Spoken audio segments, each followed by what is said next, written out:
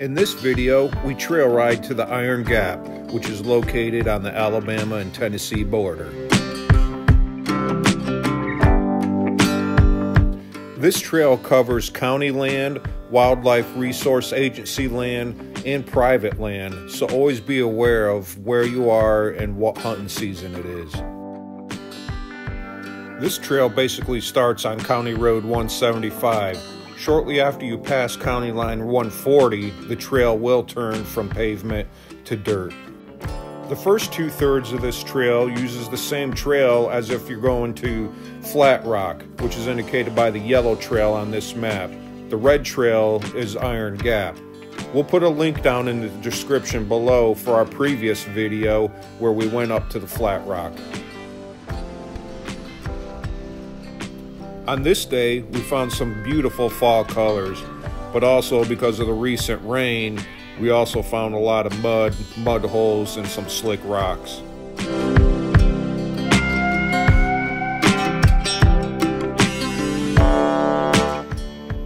The beginning of this trail does have some creek driving, as you can see here, but the water isn't but maybe axle height, and it's a hard rock bottom, so no worries there.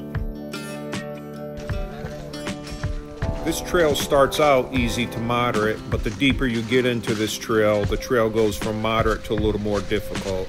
It's always best to travel in a group and hopefully yourself or others in the group have some sort of recovery gear because some of the areas you may get in that situation where you need it.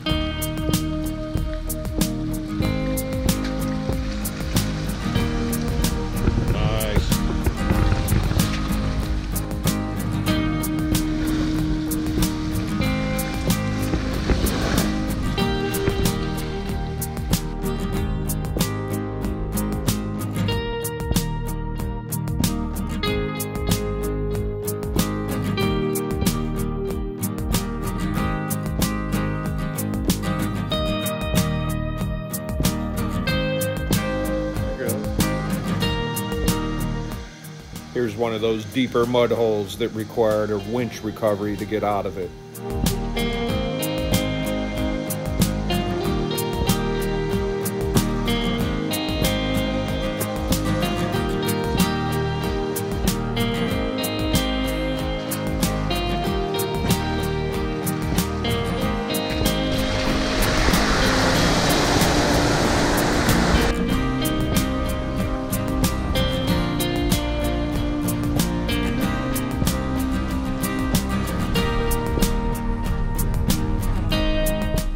Dry Creek area is full of larger rocks, so it turns into a pretty bouncy ride. So I apologize for many of these clips being pretty jumpy.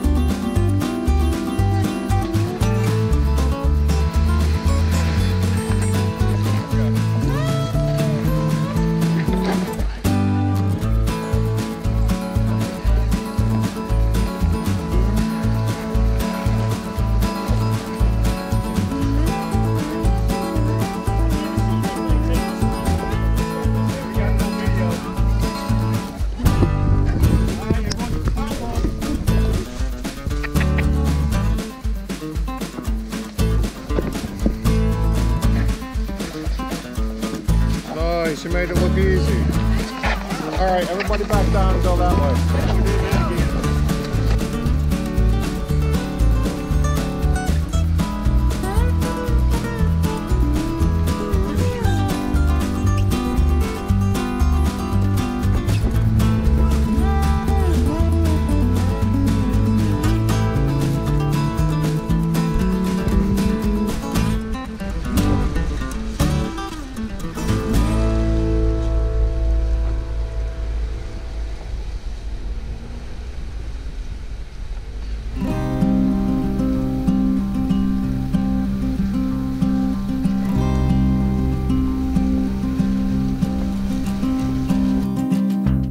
Lots of places along the trail to stop and take a break, stretch your legs, or have some lunch like we did here.